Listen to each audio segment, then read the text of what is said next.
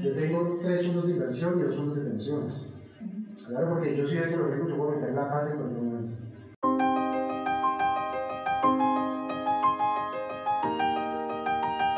Hay dos, hay dos tipos de fondos, los fondos de inversión activa y los fondos de inversión pasiva. En los fondos de inversión activa hay un, hay un trader tomando decisiones a su criterio. Y en los fondos de inversión pasiva no hay un trader tomando decisiones, ellos solamente van replicando lo que hace un índice. Entonces ellos no tienen que pensar. Y generalmente los índices tienen mejor desempeño que los fondos de inversión activa, donde los traders toman decisiones. O sea, el mercado se comporta mejor que una persona tomando decisiones. Fondos de inversión pasiva, que además tienen la característica de ser más baratos que los activos, porque los pasivos no pagan traders. Yo les invito, por ejemplo, que lean la historia de Jack Bogle, que es el, murió hace un mes y él fue el, el, el diseñador de Vanguard, el fundador de Vanguard Group y él diseñó el concepto de fondos indexados.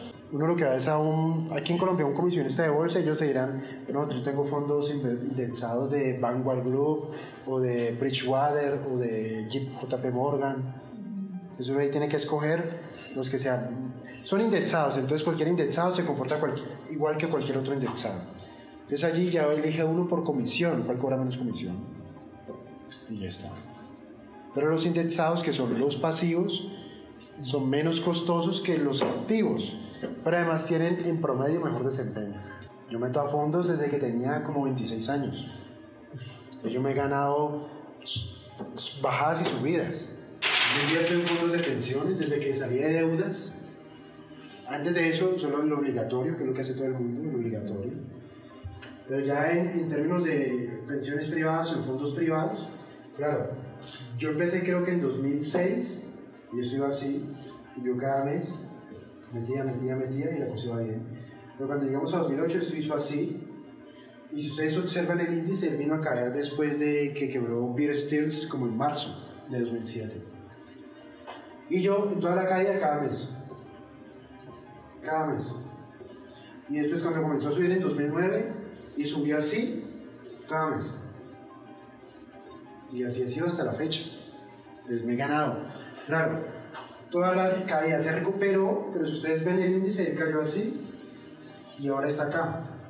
Pero yo todos estos meses, todos estos años metiendo. Yo no tengo que pensar, yo lo que hago es meter, es un fondo indexado. Entonces yo me he ganado esa subida. ¿Qué pasa si Angelito el de mañana se aparece el monstruo y acaba con todo? Ahí queda.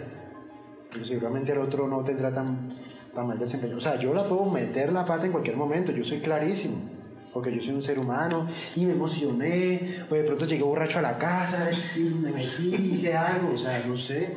Yo nunca me borracho, yo, yo, lo doy como ejemplo. Pero, pues se a emocionar o te dieron un dato, no sé. Y yo tengo que tener dos, dos, como, como manera de cubrirme de mí.